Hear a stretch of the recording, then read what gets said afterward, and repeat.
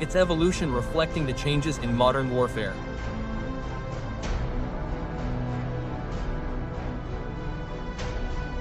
The original version, the M1, came with a 105mm rifle gun borrowed from the M60 and basic Chobham armor, with over 3,200 units produced by 1985.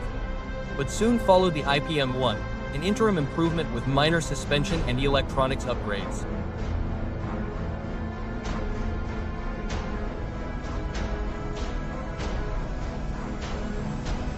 Emerging in 1985 was the M1A1, a major leap forward, with a 120mm smoothbore gun licensed from Rheinmetall Germany, capable of firing a PFSDS aerotype ammunition, and a truly revolutionary innovation. Armor reinforced with depleted uranium, dramatically increasing density and strength.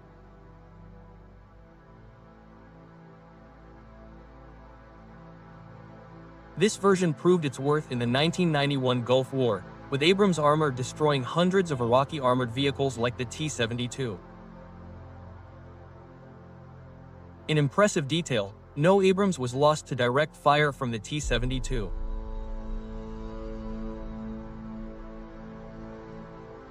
Fast forward to the 1990s, and the M1A2 ushered in the digital age with a real-time data sharing system, independent thermal imaging for the commander, and more electronics to further increase fire accuracy, even at night and on the move.